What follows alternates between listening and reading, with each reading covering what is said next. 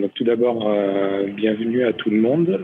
merci de, de, vous être connectés pour, pour ce séminaire donc, sur engager nos équipes dans la construction d'un nouveau paradigme. Séminaire du coup qui rentre dans le cadre du dispositif Relief et du club clé euh, que, je représenterai rapidement juste après. Euh, du coup, avec la participation aujourd'hui de, Loire Habitat euh, avec Isabelle Masson, de Néo Vance avec Sylvain Zani et Corinne Bourgeois de, de qui se présenteront juste après.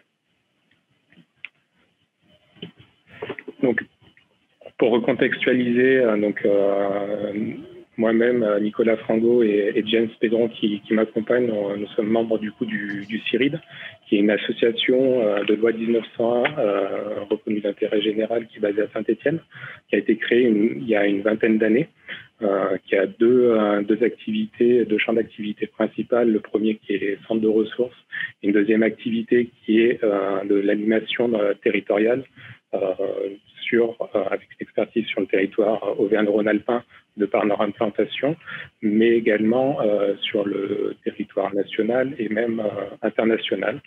Euh, donc on a une expertise sur le, sur le développement durable et notamment sur l'économie circulaire qui s'est développée au fil des années, avec un lien relativement fort avec les, acteurs économiques du territoire.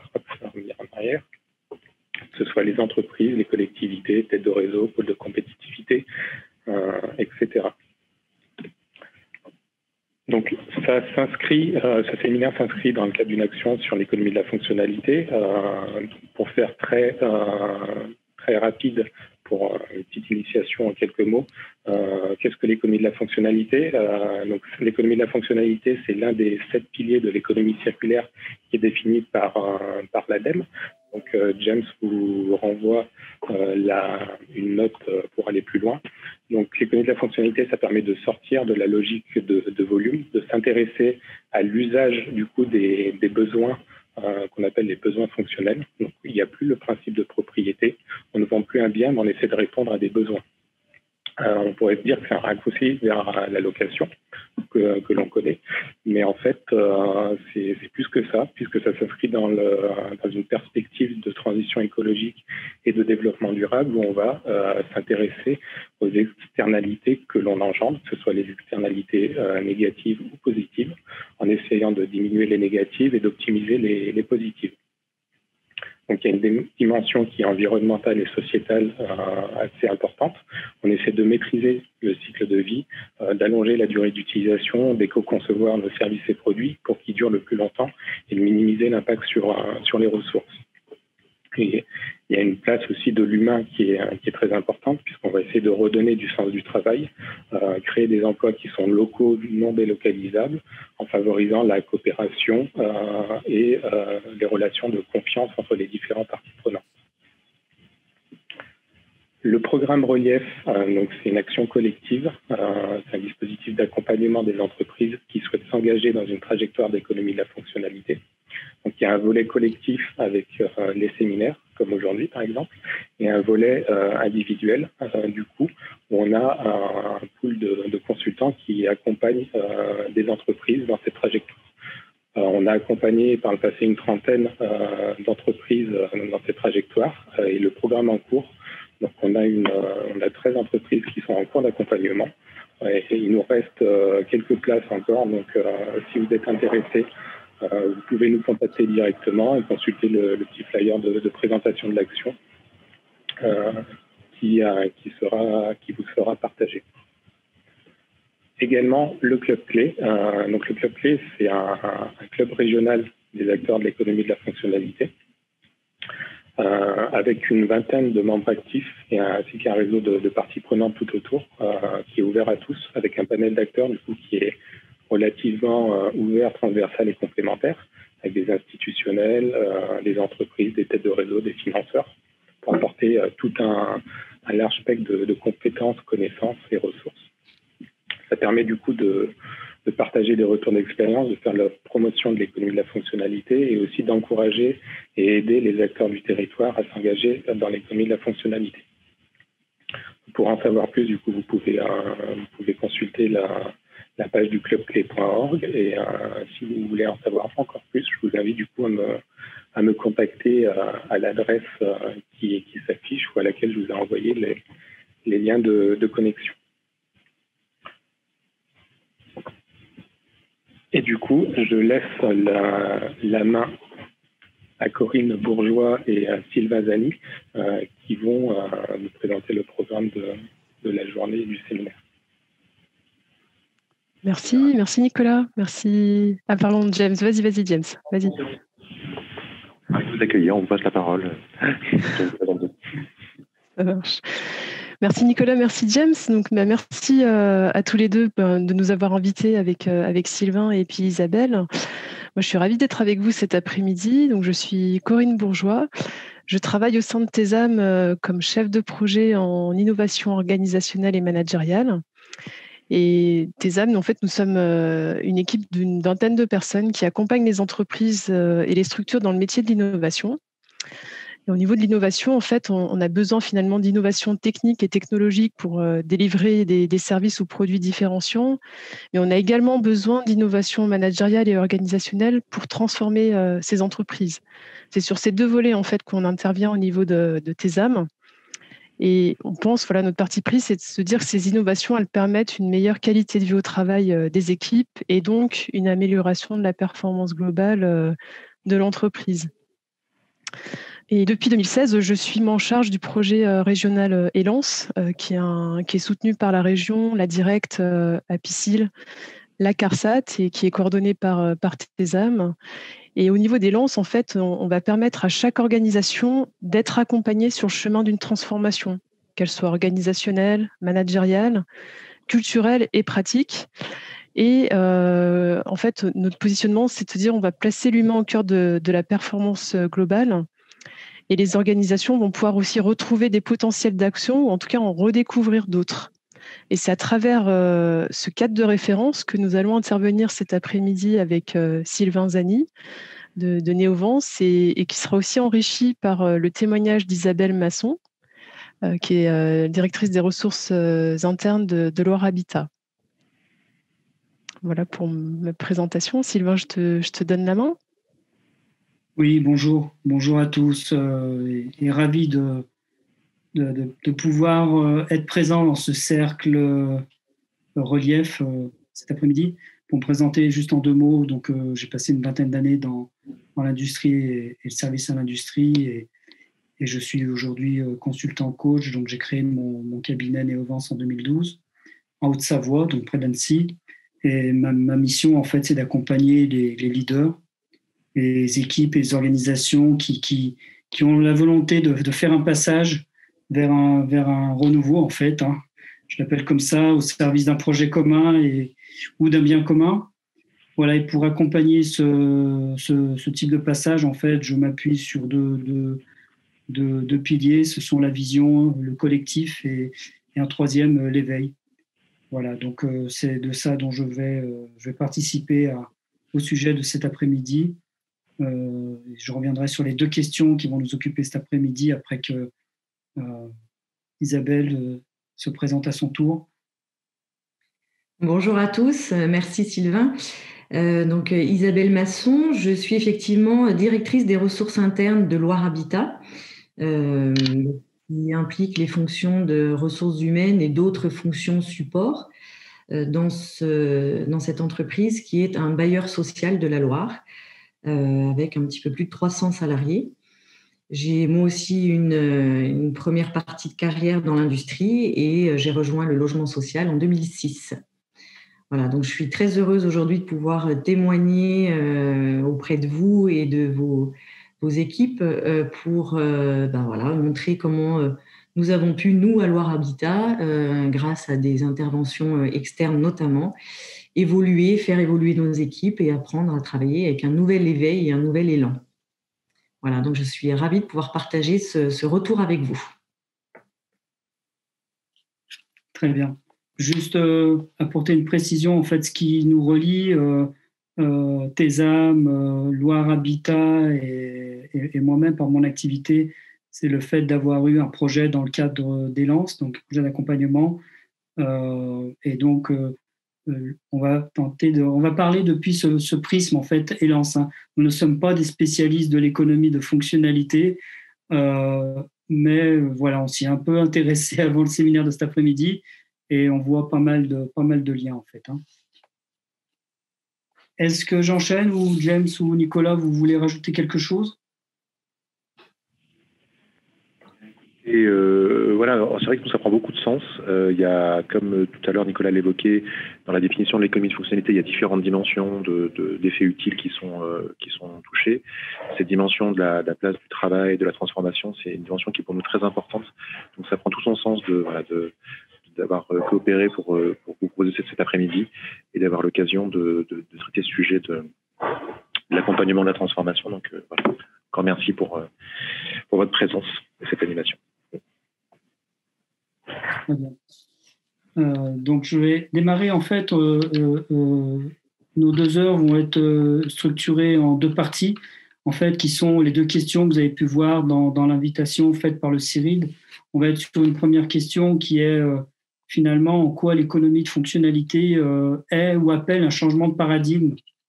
Et en fait, j'ai pas la réponse, j'ai des idées là-dessus, mais c'est surtout, voilà, on va partager quatre types de paradigmes et on vous invite tout le long à peut-être faire des, liens avec votre approche de l'économie de fonctionnalité en fonction de là où vous en êtes.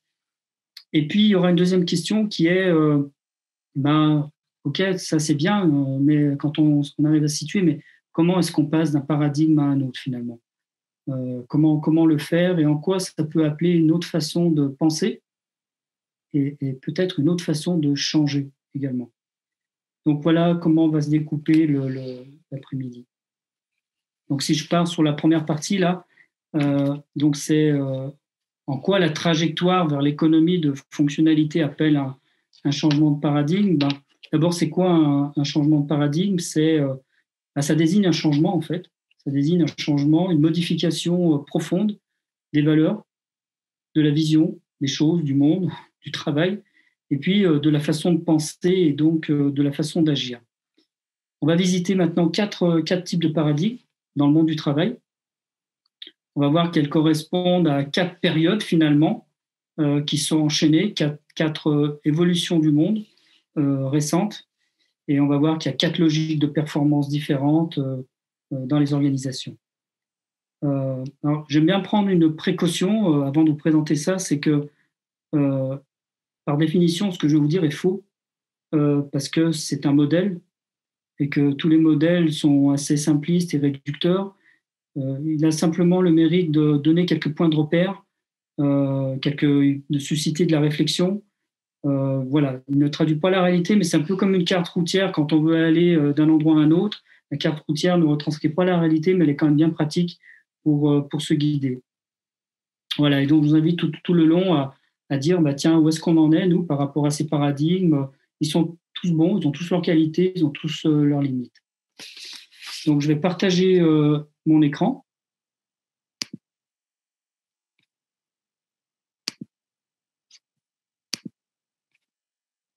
Et Corinne, je veux bien que tu me fasses un petit signal euh, toutes les cinq minutes pour, pour être dans la maîtrise du, temps, parce que je sais que je peux rester longtemps et, c'est bien de me rappeler alors.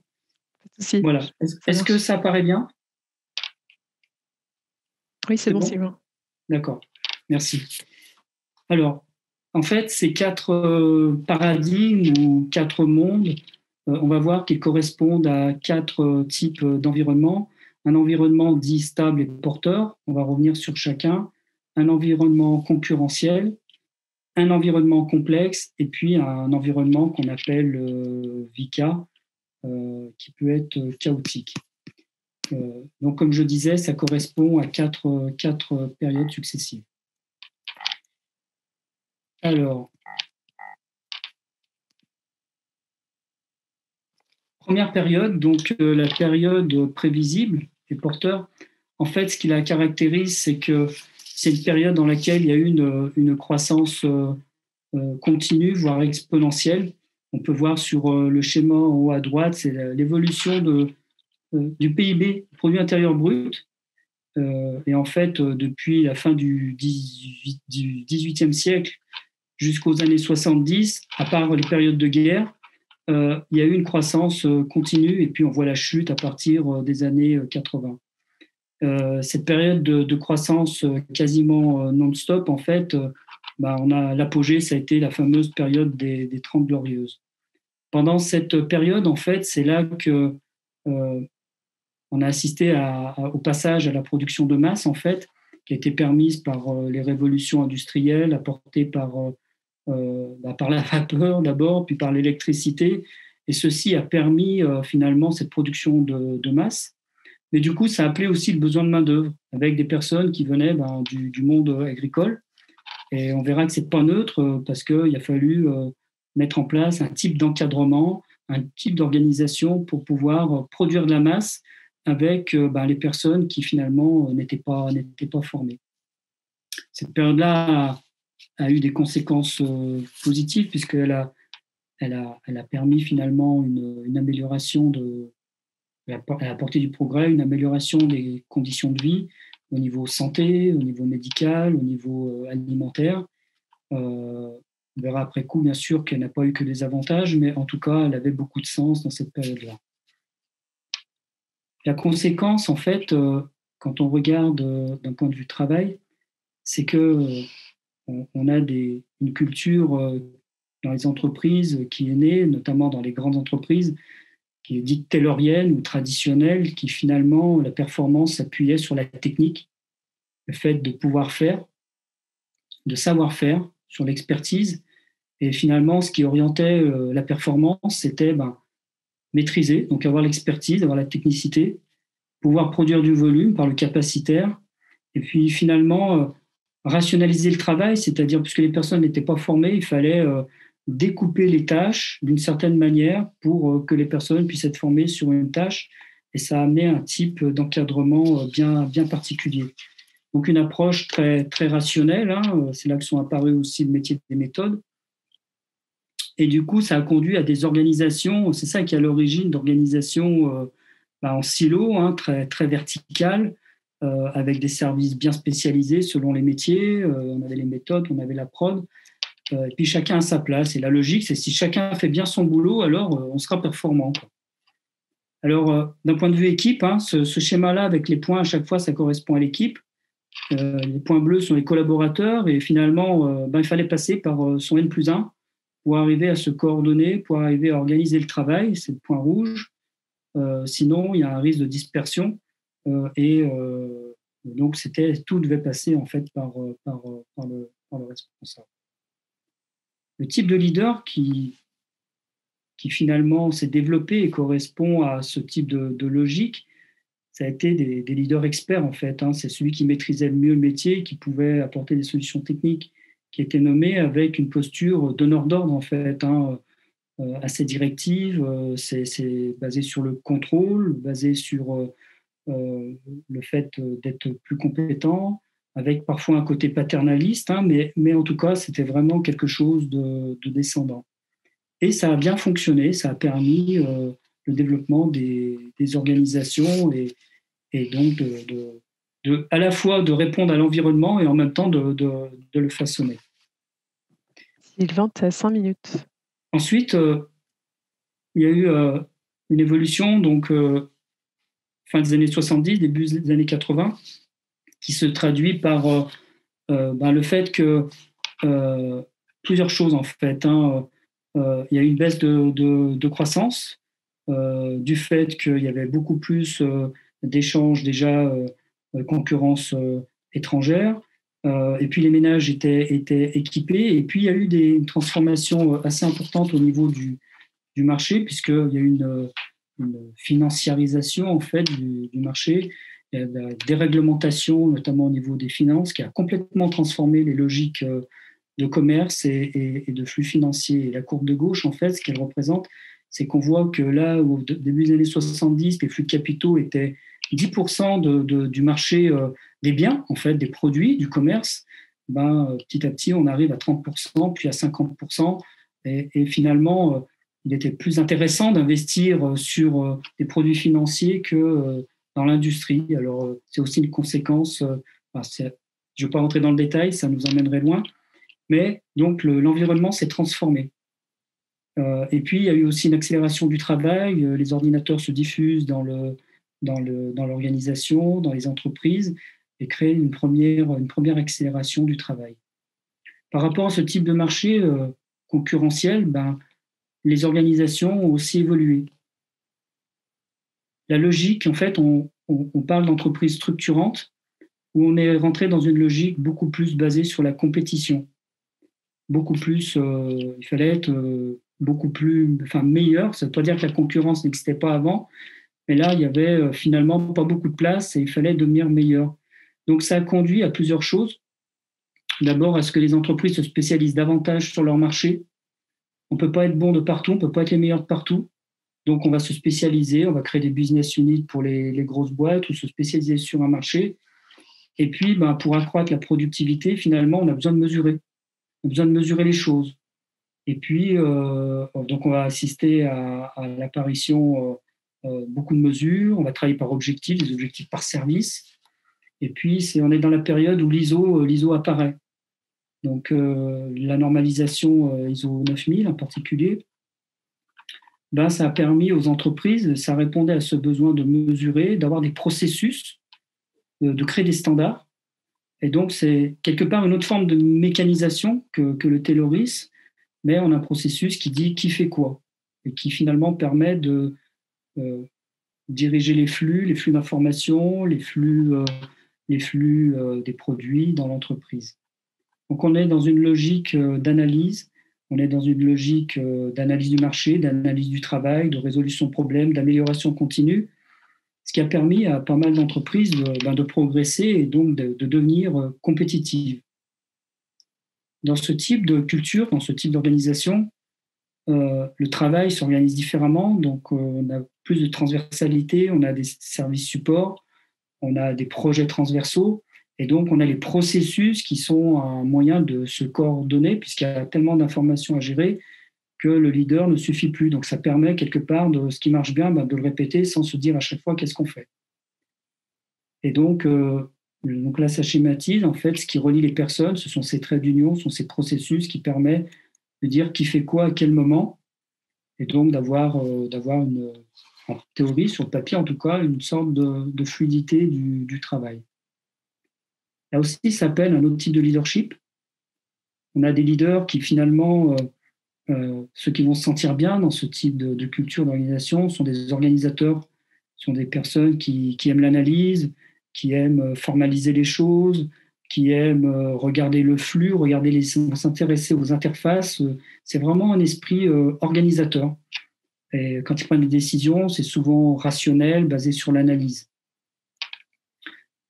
Donc on a une évolution par rapport à cet environnement et encore une autre évolution.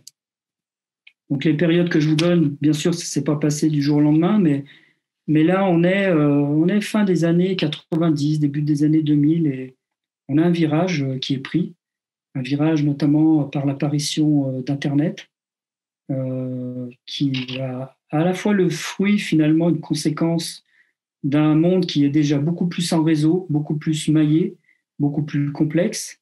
Et Internet ne va faire qu'accentuer ce phénomène de, réseau où tout est relié et il peut se passer euh, quelque chose à un bout de la planète et avoir des conséquences à l'autre bout de la planète. Et donc, ça crée cette complexité où le lien entre cause et fait, euh, on a de plus en plus de mal à l'identifier, voire on ne le prévoit pas. On a des concurrents qui peuvent apparaître à l'autre bout du monde. Et finalement, euh, cette complexité fait que les business plans, on en fait toujours, mais peuvent être caduques au bout d'un an ou au bout de trois mois. Euh, la stratégie, ben, on crée une stratégie, mais elle aussi, euh, elle, peut, elle peut vite euh, être périssable. Et donc l'avantage concurrentiel lui-même ben, peut vite changer parce qu'il y a une nouvelle technologie qui apparaît, parce qu'il y a un concurrent qu'on n'a pas vu venir à l'autre bout du monde, parce qu'il y a des transformations de, marché qui sont très complexes. Et donc on a vraiment un écosystème qui est mouvant et instable et qui va appel à son tour d'autres types d'organisations et une autre culture.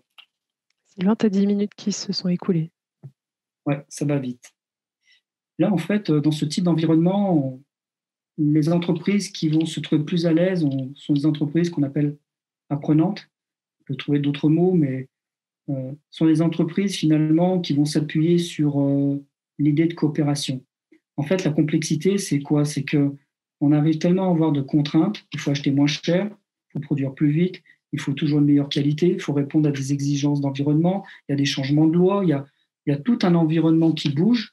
Et la seule façon d'y répondre, c'est non pas d'être sur des objectifs par service, mais de se retrouver sur un projet commun, sur une vision commune, c'est de faire du et. En fait, c'est comme ça que je le dis, de faire du et entre les objectifs et non pas du ou. Le ou, c'est les acheteurs qui veulent faire moins cher, la qualité qui va pousser sur la qualité et peut-être euh, pas faire de dérogation, la production plus vite.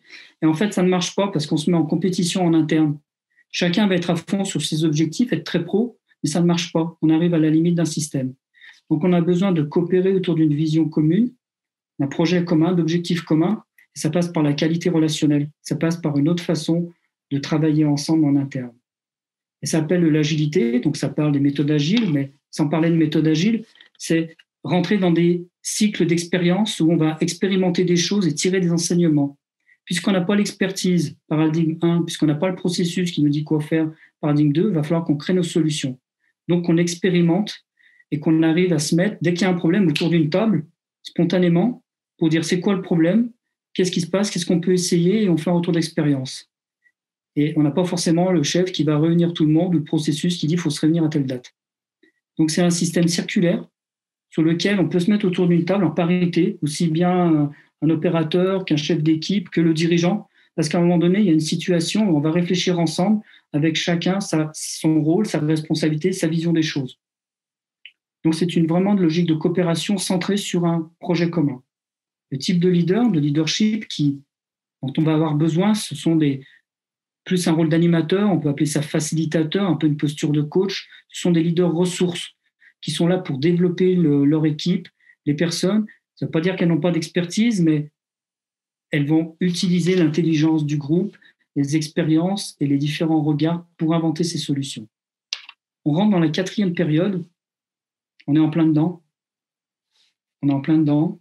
C'est la période VICA, ça veut dire euh, un environnement volatile, incertain, complexe, ambigu. Euh, en fait, on a, une certitude globale parce qu'on c'est tout le monde finalement, le, monde entier. On, arrive un peu à des limites en termes de ressources, d'énergie, d'environnement, de vie sociale.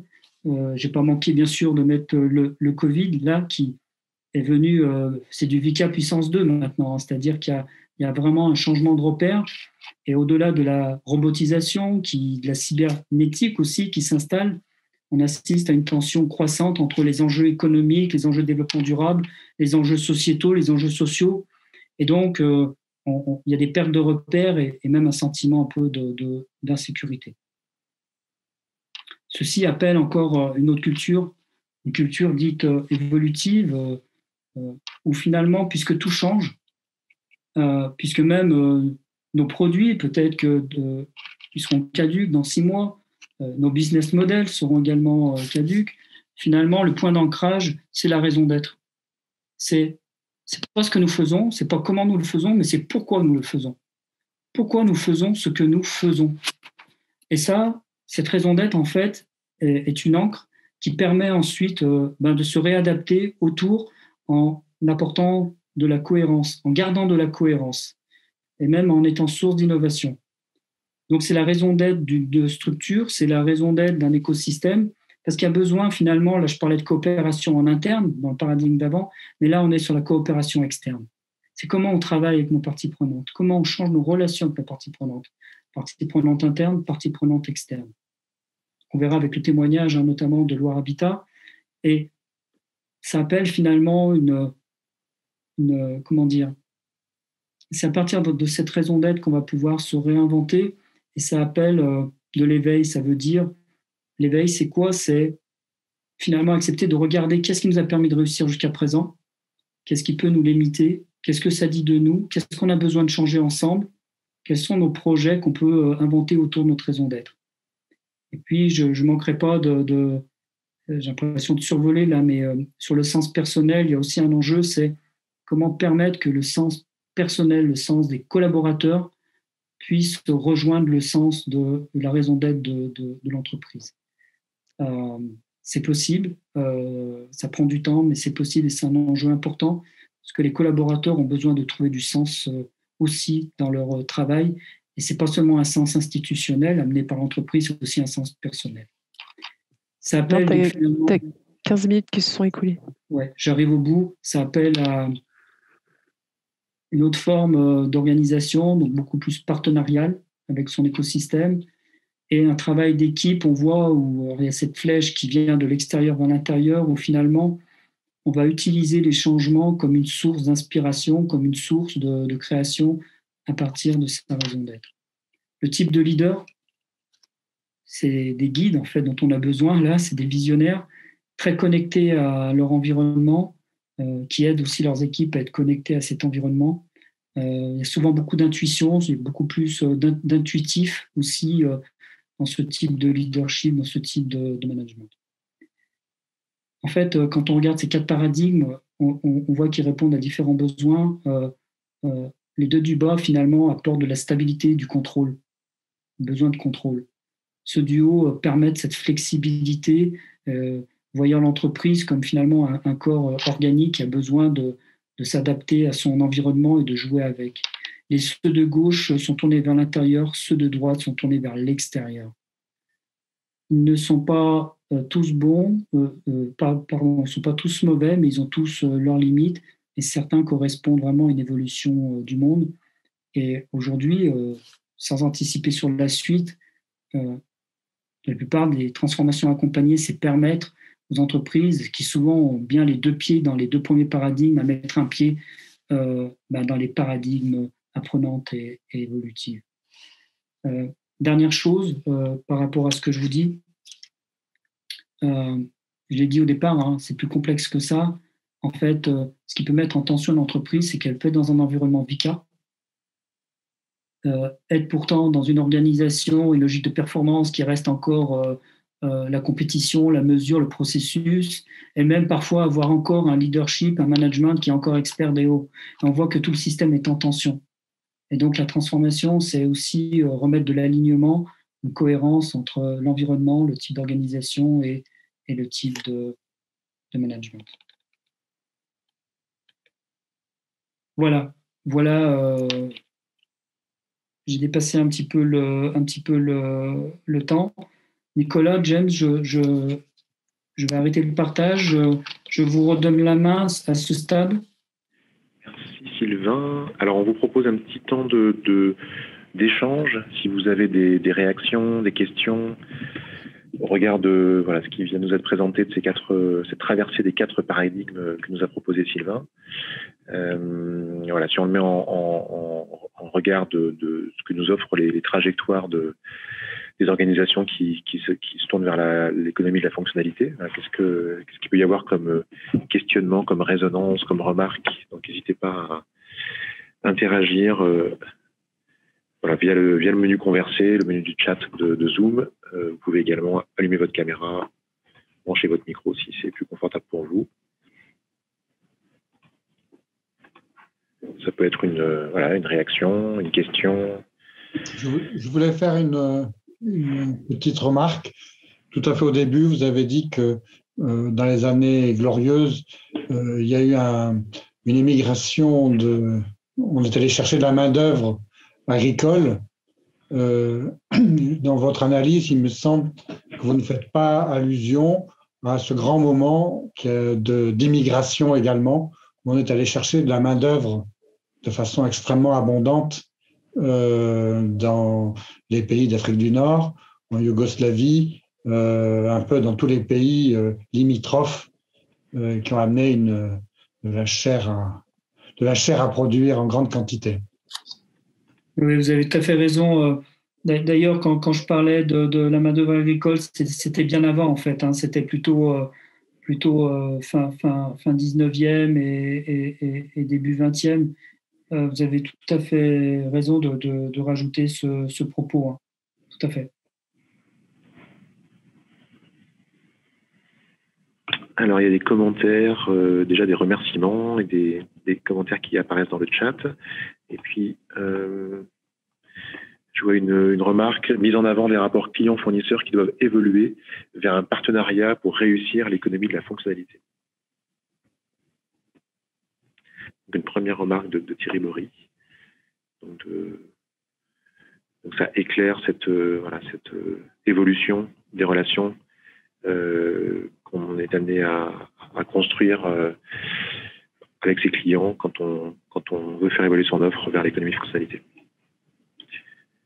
je, vois la remarque de, Laurent. Euh, je, partage euh, sa remarque hein, qui dit que euh, de plus en plus de structures de collectivités disposent davantage de budget d'investissement et non de budget de fonctionnement. sans parler de budget, c'est même le temps consacré. Le temps consacré à parler du fonctionnement. et, les personnes, finalement, dans les entreprises, on, très peu de temps à dire mais comment est-ce qu'on travaille ensemble? Comment est-ce qu'on fonctionne ensemble? Qui permet justement de parler de la façon de travailler. Et quand je dis aux personnes, il suffit de consacrer, d'investir 1 ou 2 de temps, euh, c'est déjà énorme. Vous pouvez faire beaucoup de transformations, euh, baisser les tensions et amener des idées et faire en sorte que les personnes peuvent agir sur l'environnement de travail, en fait. Donc, euh, je, partage vraiment ce que, ce, que dit le, ce que dit Laurent. Sans parler de sous, juste de temps. Les sous sont aussi importants.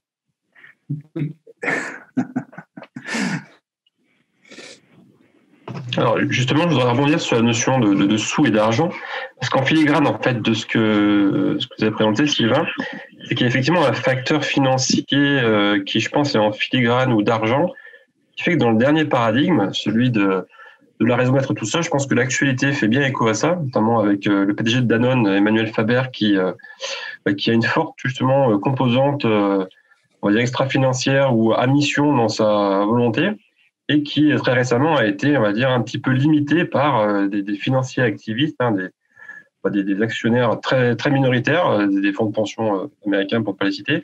Et du coup, j'ai l'impression quand même que cet aspect financier est quand même un, élément, un fil rouge parmi tous ces paradigmes et qui vient aujourd'hui se, confronter et se bloquer, en tout cas aujourd'hui, peut-être que demain ce ne sera pas le cas, à, à paradigme. paradigme. J'ai l'impression que l'aspect financier ben, restera toujours là, malheureusement, et risque d'être un peu plus bloquant dans certains aspects. Alors, je ne sais pas ce que vous en pensez par rapport à ça, mais euh, ça m'a fait penser suite à ça quand j'ai vu années paradigme.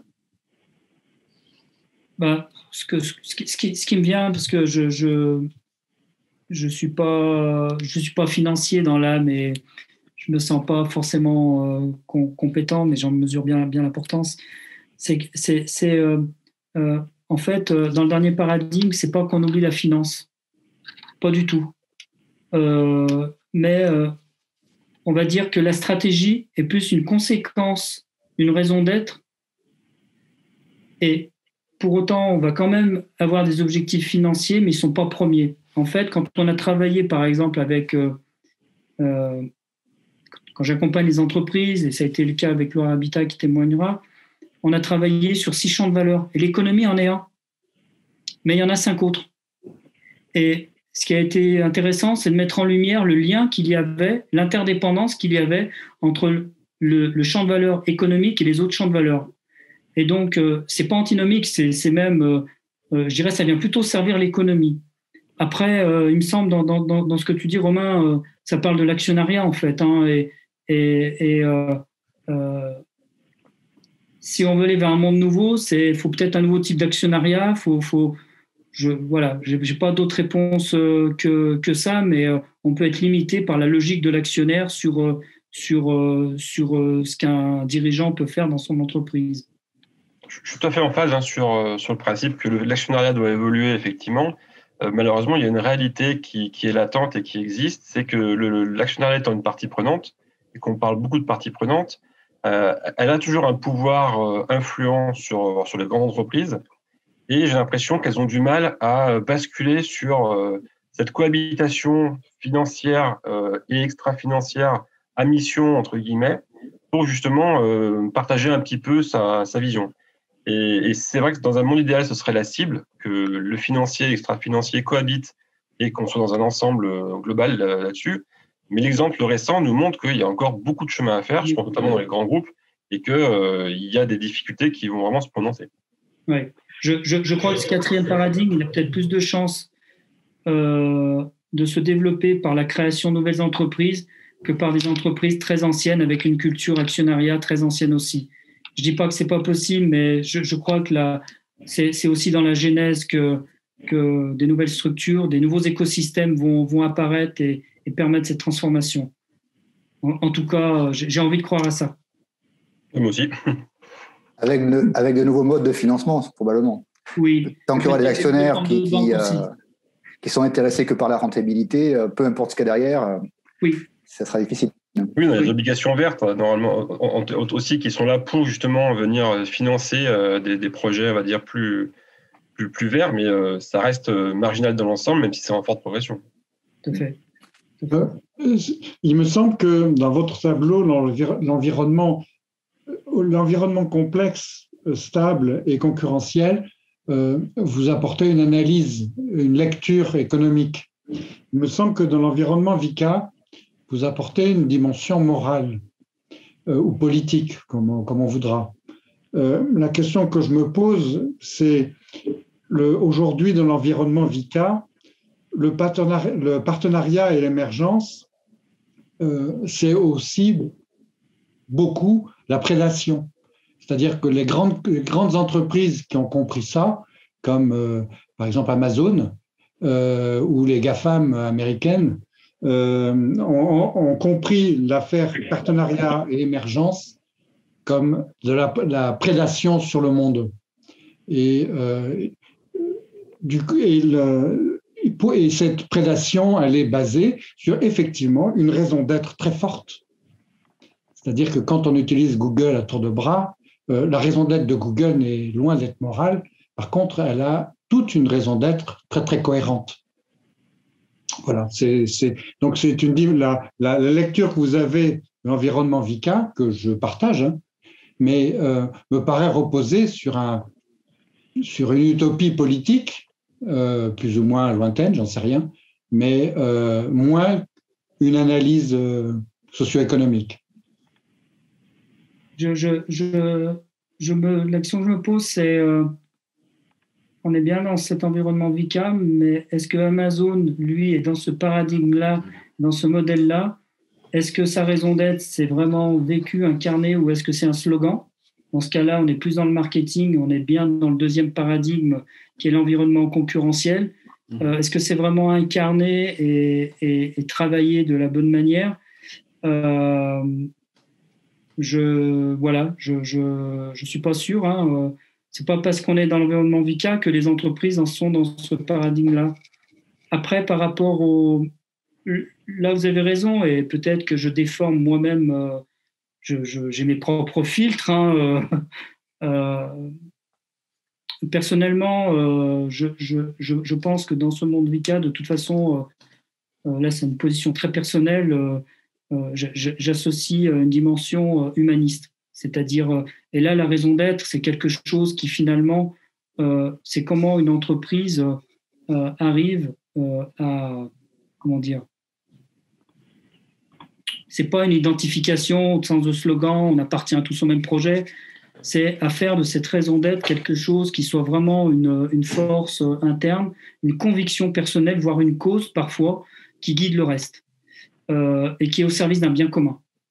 Et service, qui dit service d'un bien commun dit travail avec les parties prenantes. Donc comment Amazon travaille par exemple avec ses parties prenantes? Est-ce que c'est une relation où on cherche vraiment à faire du gagnant-gagnant? Voilà, je, je, cette, quand, quand je parle d'humanisme, euh, c'est vraiment dans la façon de travailler aussi avec, euh, avec les autres.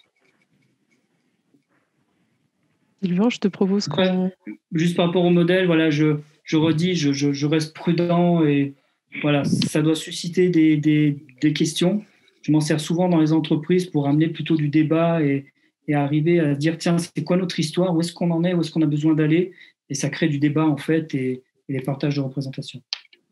Merci pour vos questions et ça, me challenge. Je, sais que je retravaille toujours sur les questions qu'on m'a posées. Merci.